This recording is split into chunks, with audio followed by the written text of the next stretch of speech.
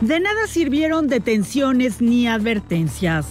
Dos menores que han asaltado a automovilistas en la colonia Daniel Garza volvieron a atacar a un conductor en Avenida Constituyentes, de la misma manera en que lo hicieron hace dos semanas.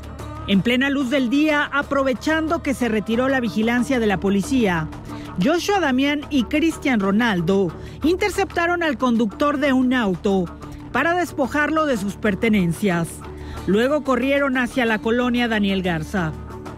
Un video y fotografías difundidas en redes muestran a los menores de 13 y 12 años al momento del atraco.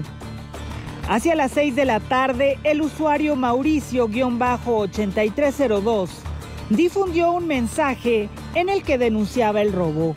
El video mostró a dos figuras ya conocidas, Damián y Ronaldo, quienes el domingo 2 de septiembre trataron de robar a los tripulantes de un auto que pasó por esa misma avenida Constituyentes en dirección al periférico. Dale, písale, písale, písale, písale, En Azteca Noticias le narramos la forma en que estos jóvenes acechan a sus víctimas.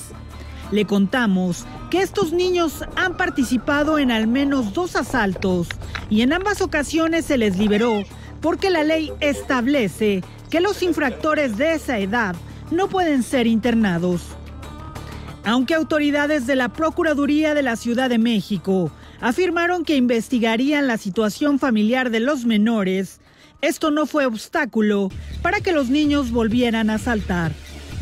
Al difundirse el video, el secretario de Seguridad Pública Capitalina reprobó las leyes que permiten liberar sin cargos a los menores infractores. Las leyes sabemos, el nuevo sistema sabemos que está totalmente fuera de, la operatividad real está dejando salir a demasiada gente el debido proceso. Está hecho para que los delincuentes salgan. Lo de la famosa frase que la sociedad ha puesto de la puerta giratoria es una realidad y lo estamos viendo.